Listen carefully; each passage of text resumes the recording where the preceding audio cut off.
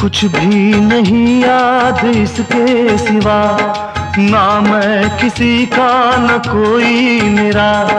जो चीज़ मांगी नहीं वो मिली। करता मैं क्या और बस छीन ली। मैं भी शराफत से जीता, मगर मुझको शरीफों से लगता था डर। सबको पता था मैं कमज़ोर हूँ।